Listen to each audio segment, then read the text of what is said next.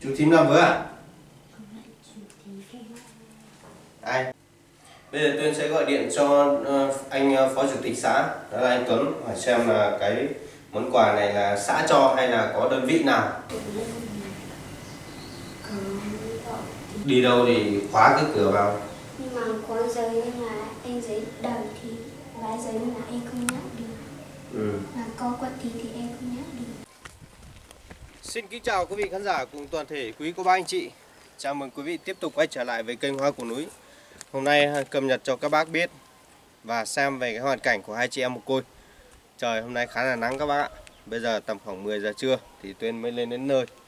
Tuy nhiên thì hôm nay lên cũng có một số các cái nội dung liên quan đến cuộc sống cũng như là sự hỗ trợ của một số khán thính giả ở trên kênh của Tuyên.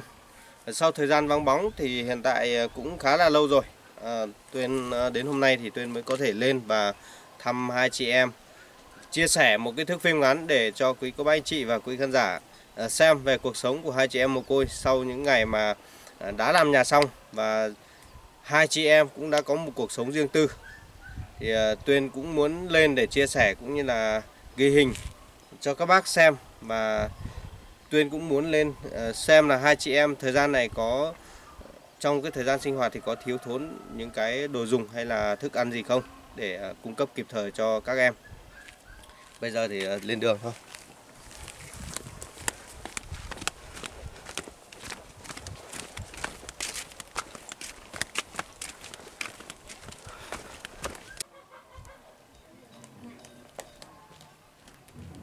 khá là lâu không đi cái con đường rồi rồi các bác ạ không biết là Đấy. cuộc sống của hai chị em ăn ở như nào. Còn thiết chế là sao Đây, nhà thế mà. à.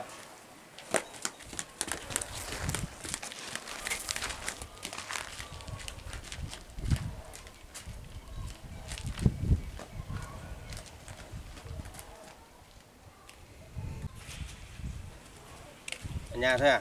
Không đi học à? Hả? Đi à? Chào các bác đi nói to lên. Chào chào các ông các bà các bác các chú Ừ. Thế dạo này hai chị em sống tốt không? Tốt à? Thôi đi vào trong nhà đi. Đấy, quét nhà sạch sẽ nhá. Cỏ này lấy làm gì đấy? Củi à? Nhà. Sao bao xin này, này thủng hết này? Ai cắt đấy? Hả? Các bạn cắt hả? À, ông nó chú cắt dùng cái gì tiếp không? Cái gì đấy? Rau lợn à? Sao lại để ở đây? Ui ôi, ai làm kính bớ đấy? Hả? Ai làm vớ đây?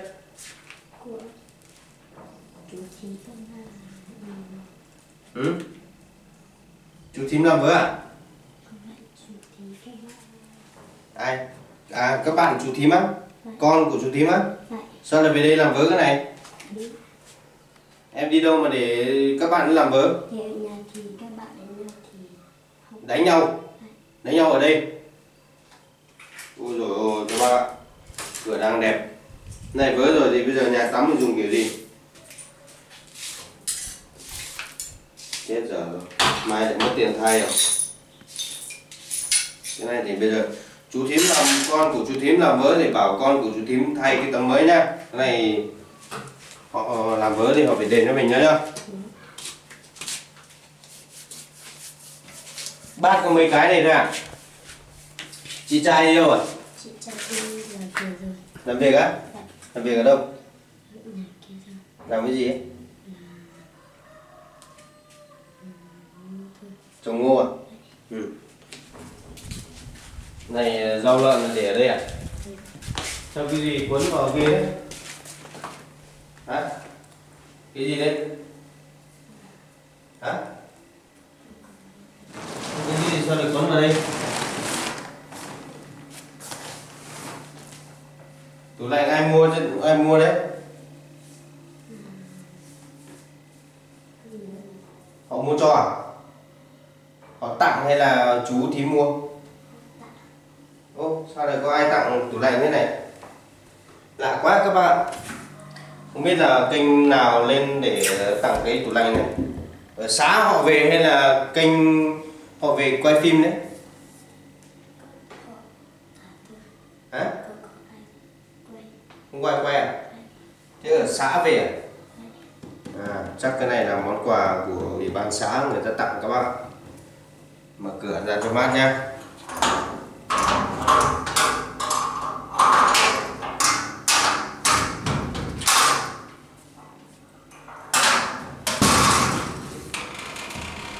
Nhắc này có nước không? có Hôm nay lên thì có mỗi ờ, em ờ, gửi ở nhà thôi các bác Em trai thì đi làm mất rồi Cái nước gì bẩn thế? Hả? Cái nước này để làm gì đấy? Rửa tay à? Rửa tay sao để vào đây? Đây chưa? Bú gì đâu? Cho đi dùng no là Giờ hầu hầu tao gì tao? Hầu tao hết à? Đây Ui. Tí thôi Tầm này thôi các bác Tầm này thôi Nhưng mà cái này ờ, có thể là vẫn đủ dùng Một thời gian ngắn Chú đi đâu rồi? chú chú đi làm? Chú đi làm việc á Nhà thì anh bàn giao cho hai chị em nhá Nhưng mà anh muốn thế này khi mà hai chị em không ở nhà thì khóa nó vào, Không cho các em của chú thím vào chơi. Bây giờ các em chú thím vào chơi là vỡ hết kính rồi, thì làm thế nào? Tự mua. Nhưng mà lấy tiền đâu mà mua. Không biết, đến bây giờ không có tiền thì làm sao mà mua được? Có phải là là là mình đi là mua được đâu? Thế bây giờ ai mua? Chú tím bảo chú tím mua. À? Để mua về thay luôn nhá. Thay cho mình xong là đi đâu thì phải đóng cửa vào. Không có bạn vào chơi đánh nhau ở trong này lại lại à, lại vỡ đấy các bạn cái uh, kính cửa nhà nhà tắm thì các bạn để chơi nghịch quá nên là vỡ kính mất rồi. Còn cái uh, cái cái máy băm rau lợn kia là của ai? Ừ? của chú hay là của em? Máy băm kia đi. Xem cái máy này là của ai. Đây này. Cái này là từ từ lúc. Của chú á. Nhưng mà sao chú lại về để ở đây?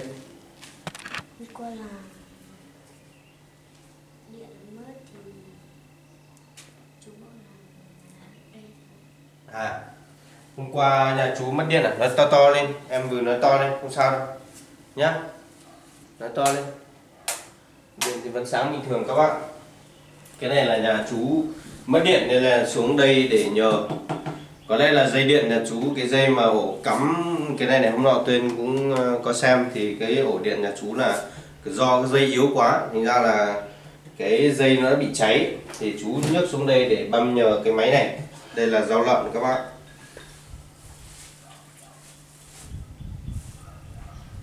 rau này ờ, rúa tự lo. Ừ.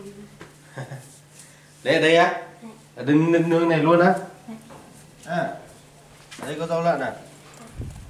Anh tưởng là cái này là cỏ chứ. Cỏ này cũng cho lợn ăn được á. Ừ.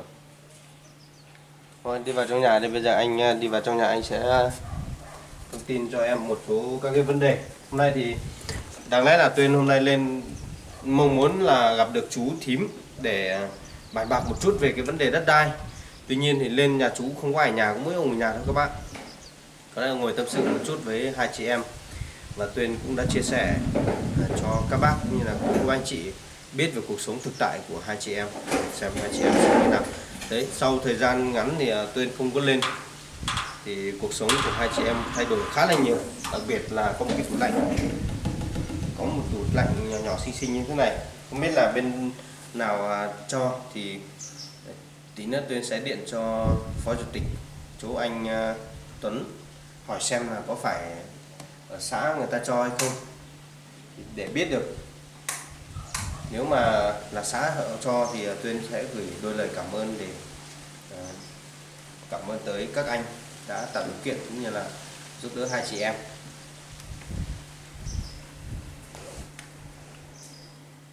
Gạo ở đây ai mua về đấy. Nói to lên. Ừ? rồi chú là tại vì ba chú lò là luôn thì bây giờ lấy cái chú là à? Thế đúng rồi. Cả gạo với lại cả cái tủ lạnh các bác ạ. Bây giờ thì ờ, tôi tuyên sẽ gọi điện cho anh tuấn ngồi đi em ờ, uh, bừng ngồi đây đi. Gọi điện cho anh tuấn để nói chuyện với em một chút. Bây giờ tuyên sẽ gọi điện cho ờ, anh ờ, phó chủ tịch xã đó là anh tuấn hỏi xem là cái món quà này là xã cho hay là có đơn vị nào. Họ hỗ trợ hay không thì để gửi lời cảm ơn họ. Vừa rồi tuyên mất kênh thì anh phó chủ tịch cũng có gọi hỏi thăm và nói chuyện hỏi thăm. À, anh tuấn à? Em chào anh nhé em là tuyên đây Ờ, chào em. vâng à, em đang ở chỗ nhà hai chị em ấy thì bất ngờ quá em nhìn thấy hạ một món quà là lạ ở đây thì hỏi hai chị em thì có chị cả không có ở nhà nhưng mà chị ờ, bé vừa ở nhà nhưng mà hỏi thì bé bảo là các anh ở xã cho không biết là Ừ, Là như nào anh? Nghĩa là có một à à.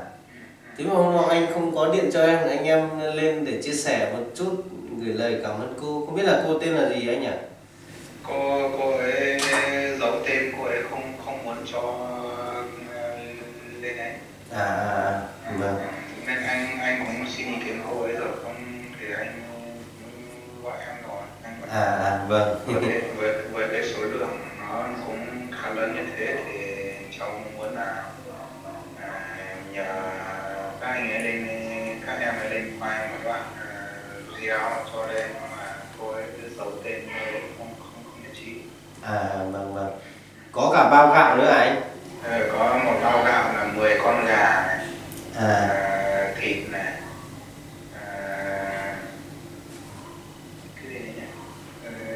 tủ lạnh này cái dây điện dây dây cắm tủ lạnh này. Vâng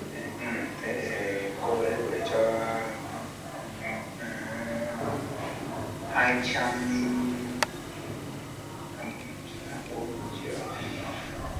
hai hai hai triệu hai trăm đô đấy 200 đô à 200 đô như vậy là chắc ở nước ngoài rồi để cho hai trăm đô thì cô cô cô chuyển tài khoản luôn. À, vâng, vâng. Em cảm ơn anh nhé, cảm ơn anh đã nhiệt tình giúp đỡ hai chị em.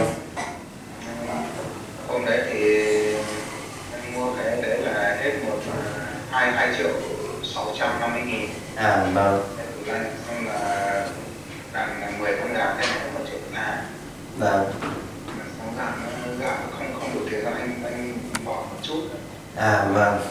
Làm nào thì bà ấy cũng hỗ trợ được như thế thì mình cũng mình cái gì thiếu thì mình bổ sung vào vâng vâng vâng. Em cảm ơn anh. Cảm ơn anh nhé. Cảm ơn anh nhé đã đưa món quà ý nghĩa gửi đến cho hai chị em.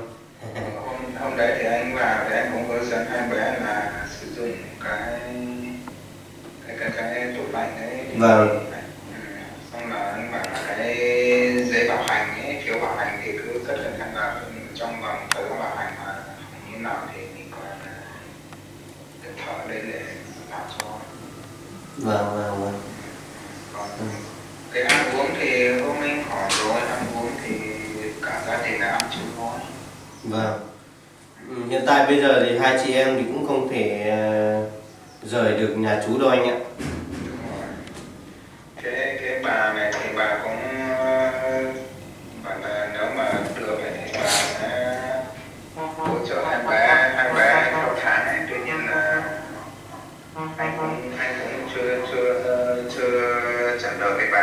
vâng vâng. Vì nếu mà hỗ trợ theo tháng này mình phải lập một cái sổ. Vâng. À làm làm một cái sổ và làm báo cáo báo cáo hàng tháng thôi.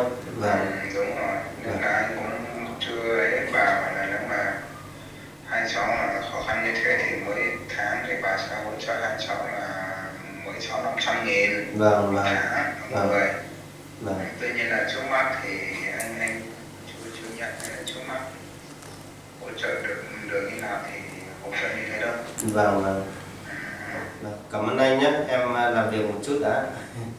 Hôm nào anh em mình gặp nhau tí anh ạ.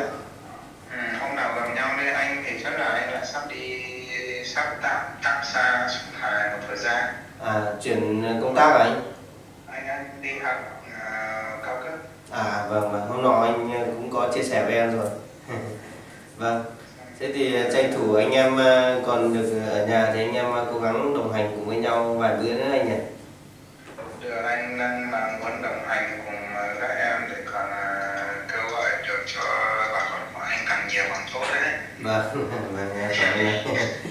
được giúp bà con thì có anh đồng hành cùng với em thì em cũng rất là mừng. Ờ, cảm ơn anh nhé em làm việc một chút đã. Em chào anh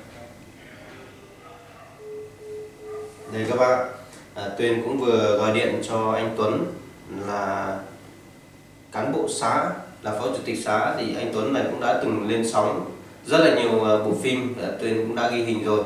Tuy nhiên thì thời gian này anh Tuấn khá là bận ở cơ quan cộng với lại một số cô bác anh chị à, đã ủng hộ cho hai bé thông qua anh Tuấn rất là mừng khi mà được ờ, sự chung tay giúp đỡ của anh Tuấn cùng với toàn thể quý cô bác, anh chị và quý vị khán giả trong và ngoài nước. Đặc biệt là hôm vừa rồi thì cũng có cô ở bên Mỹ và cô có dấu tên cô gửi cho bên ờ, chính quyền xã là tổng số tiền là 200 đô. Anh Tuấn có chia sẻ là như vậy. Thì ờ, anh Tuấn cũng đã mua cái tủ lạnh và một số nhu yếu phẩm phục vụ cuộc sống nhu cầu ờ, sinh hoạt của hai chị em. Thì bản thân Tuyên cũng rất là mừng khi mà vào nhìn thấy những cái món quà, cũng như là sự chung tay giúp đỡ của tất cả mọi người. Đặc biệt là cô giấu tên cô đã nhìn thấy thước phim của Tuyên và sau đó liên lạc với ờ, bên chính quyền để hỗ trợ kịp thời giúp đỡ cho hai chị em trong cái thời gian ờ, mùa đói này cảm ơn cô rất nhiều và Tuyên cũng xin gửi lời chúc sức khỏe tới cô và chúc cô luôn luôn hạnh phúc, thành công trên mọi con đường. Cảm ơn cô rất nhiều. Và bây giờ thì trở lại câu chuyện của hai chị em. Vừa rồi thì chú chủ tịch ờ, cầm đồ này về thì có biết cảm ơn không? Hả? Nói to lên. Ừ. trong đó là có những cái gì? Có tủ lạnh này, có cái gì nữa? Gạo thịt thịt lợn hả? Xong rồi có gì nữa? Gà. Gà gà to hay gà gà to hay gà bé? Ừ. đi đâu hết rồi? Ừ. sao không để ở đây nuôi. Không chuồng đúng không? Phải như vậy thôi vì à, để bé vừa cũng ờ, thoải mái nói chuyện với tuyên cũng như là tâm sự một chút cho các bác ờ, nghe thôi. Vì là, em vừa thì ờ, cũng khá là nhút nhát trong cái việc giao tiếp. Tuy nhiên thì là những cái này thì có thể rèn luyện được và từ từ, để em quen thì em sẽ dễ dàng hơn. Bây giờ vẫn nấu cơm ở nhà chú ăn à? Ừ. thịt thì lấy đi nấu ăn hết rồi phải không? Đây là còn? Một chút. Anh nhìn thấy còn tí nào đâu.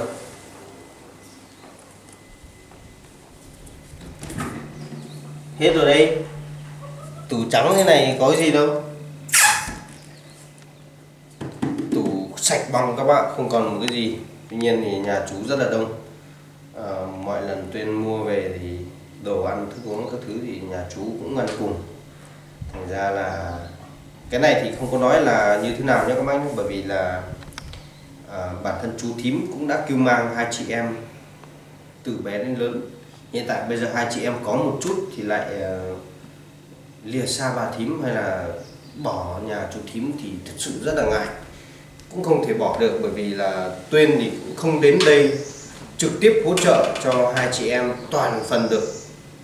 Và cũng không thể nào ờ, chăm lo cho các em như chú được cho nên là chú là một người cha, một người đã kêu mang hai bé từ ờ, lúc còn nhỏ đến bây giờ có một chút rồi thì cũng như là để báo đáp cái ơn huệ. Thứ hai như là cũng về tình người cho các bạn anh em làm từ nguyện thì cũng không mong muốn là đi đến đâu à, để cho người dân người ta à, ghét đến đấy đâu. Bởi vì là mình làm như thế thì sẽ chia rẽ cái tình cảm gia đình của người ta như thế thì uh, gia đình họ sẽ mất đi cái uh, tình cảm đáng quý khi mà anh em xuất hiện. Hôm nay anh đến đây và tâm sự với em một chút về phần quà của một số cô bác anh chị đặc biệt là cô ở Lạc Sơn. Đấy tới này cô sẽ hỗ trợ cho hai chị em một uh, chút kinh phí. Gọi là để sơn cái nhà này này để sơn cho nó đẹp. Nhưng mà với điều kiện nhá khi anh đã sơn xong thì hai chị em cố gắng làm sao.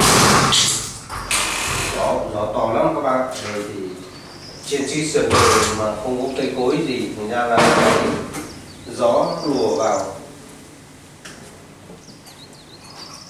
Đấy, những cái cửa mà làm cái cửa kính thì chỉ cần một lần, ba đợt như thế này thôi kính có thể bay tan thành luôn các bác.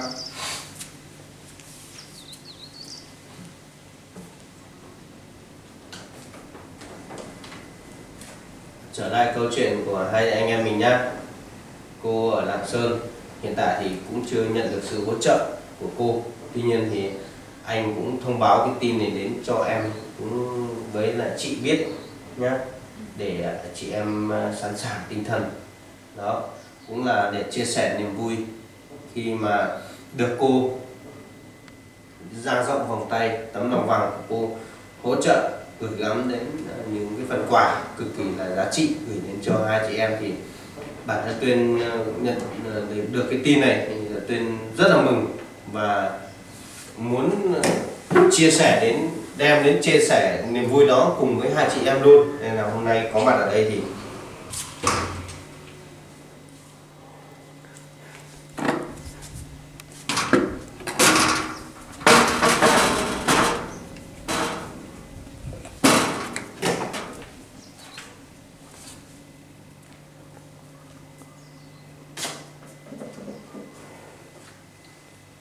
à, tiếp tục câu chuyện. Ờ, cô cũng muốn là hỗ trợ cho hai chị em một cái khoản tiền để sơn cái nhà.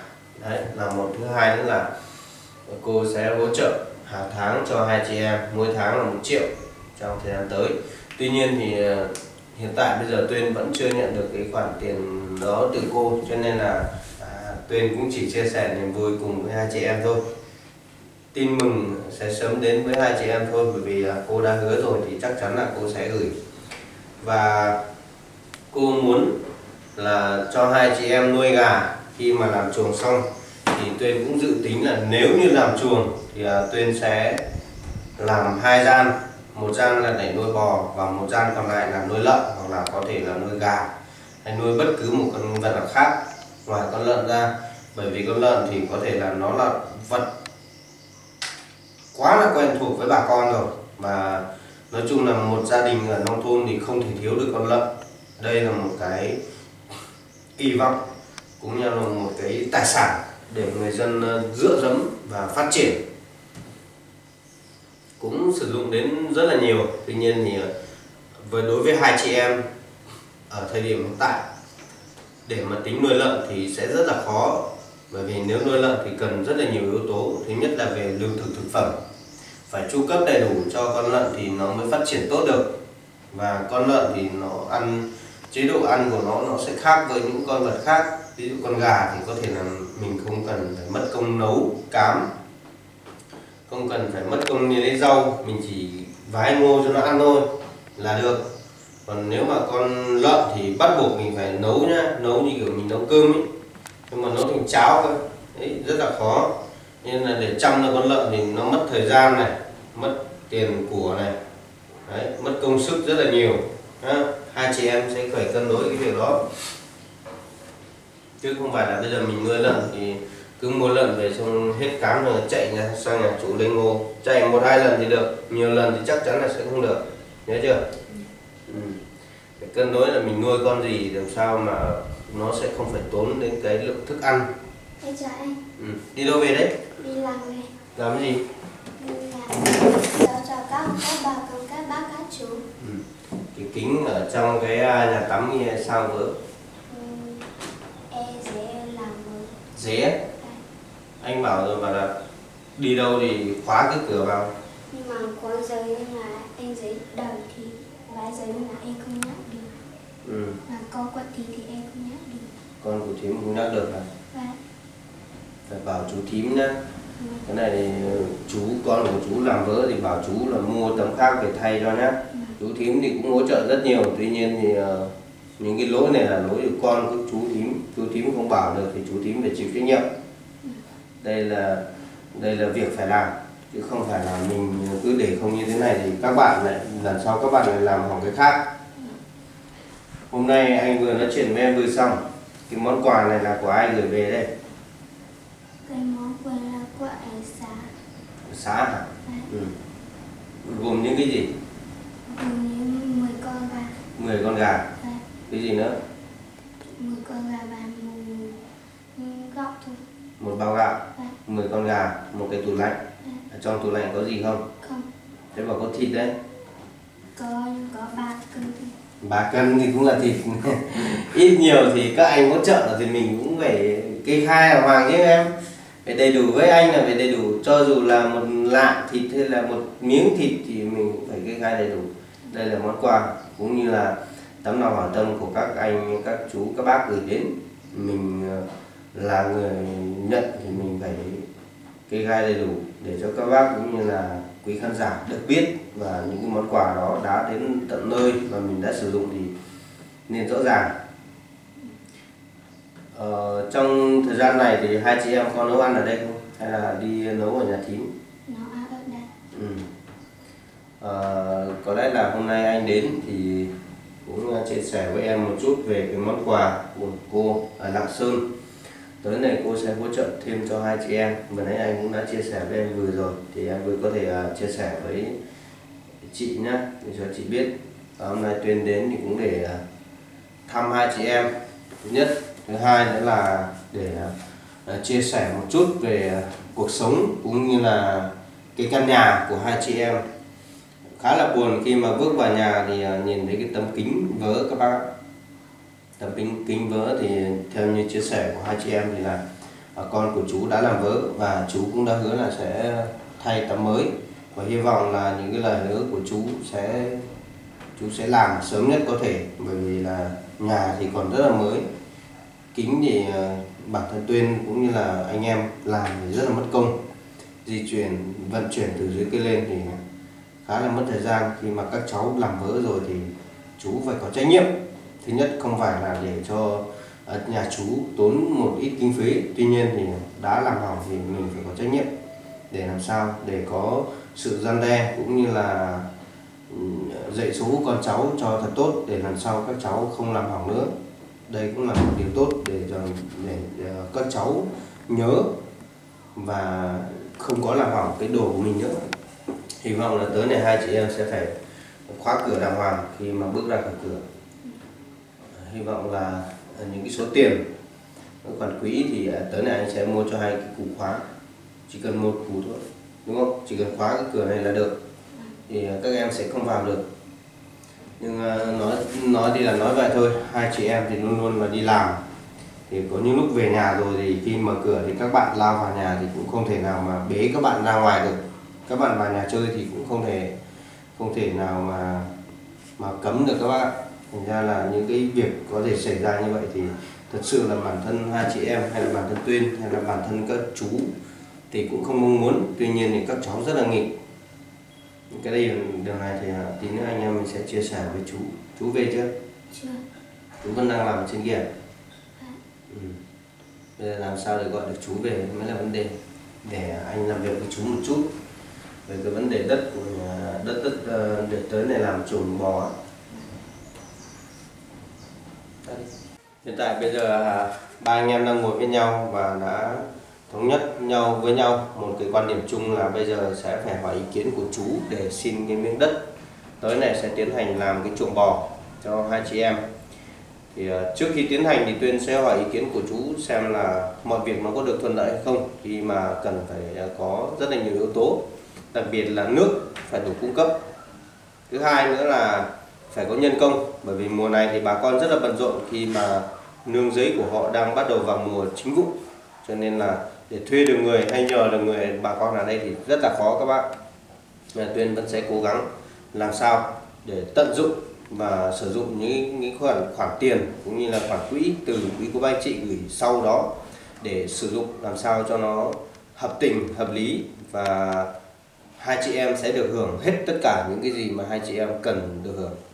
Hy vọng rằng tuyên sẽ đem đầy đủ những cái nội dung cũng như là những nội dung của tuyên ờ, làm sẽ tạo những cái lòng tin và gửi đến cho các bác để các bác thấu hiểu về cái tình cảm cũng như là sự yêu thương của bản thân tuyên dành riêng cho hai chị em.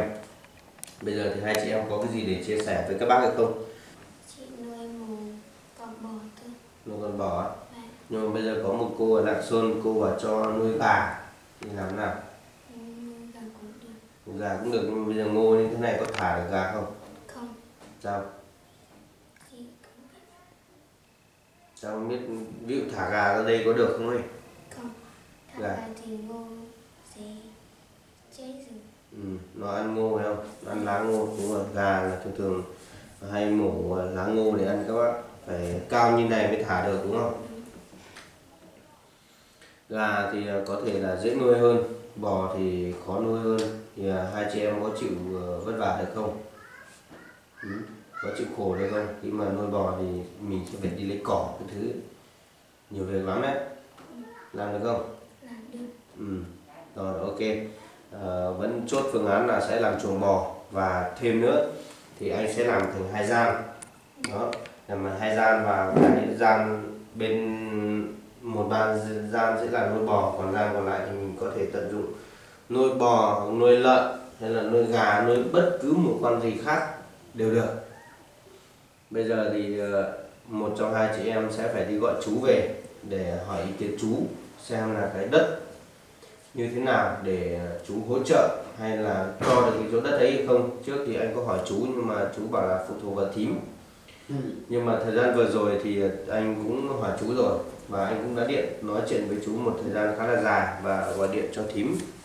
Tuy nhiên thì hôm nay thím không ở nhà các bác ạ À, sáng nay tuyên cũng đã gọi cho thím nhưng mà chú thím bảo là bây giờ ủy quyền hết cho chú rồi. Chú đã à, xem là chú xem chỗ nào đất phù hợp làm cho thì à, cho hai chị em đủ để làm chuồng bò. Như vậy thì không phải mất tiền nữa và thím cũng đã nhất trí. Cái phương án này thì tuyên cũng đã tính từ đầu rồi. Nếu mà trước đó tuyên vừa tiến hành nhà xong mà xin đất luôn thì chắc chắn là thím sẽ gây khó dễ và sẽ mất sẽ phải mất tiền để mua đất. Tuy nhiên thì sau một thời gian thuyết phục và những cái thời gian làm việc không ngừng nghỉ. Và tuyên đã thuyết phục được thím và thím đã nhất trí là sẽ cho thêm một tí đất để làm chuồng bò. Và cái số đất mà tuyên đã uh, cùng với chú ghi hình thì tới này tuyên sẽ xin rộng hơn một chút. Và muốn uh, muốn là là làm cho hai chị em thật tốt để cho hai chị em có thể tận dụng hết những cái không gian cũng như là tận dụng hết những cái Ờ, công sức mà hai chị em bỏ ra. Còn ờ, hôm nay thì tuyên cũng đến đây để chia sẻ như vậy thôi. À, có lẽ là cái thước phim này sẽ hơi dài. Tuy nhiên thì cái thời gian chú về đây và để chú quyết định như thế nào hay là có cho đất hay không thì quý cô bác anh chị và quý khán giả có thể chờ thước phim sau. Bây giờ thì cảm ơn tất cả mọi người đã quan tâm theo dõi. Xin kính chào và hẹn gặp lại.